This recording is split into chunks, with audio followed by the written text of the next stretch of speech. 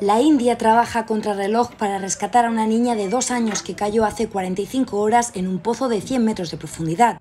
La pequeña Sristi quedó atrapada unos 12 metros al caer por el pozo este lunes cuando jugaba en sus cercanías en la provincia india de Madhya Pradesh. Los vecinos alertaron rápidamente a las autoridades, que desde entonces trabajan en el terreno para rescatarla. Se cree que la menor permanece ahora atrapada a 30 metros, después de que las vibraciones de la maquinaria hicieran que cayera a mayor profundidad. Los equipos de rescate están buscando nuevas maneras de acercarse a ella por la extrema dureza del terreno, mientras siguen sin recibir señales de vida.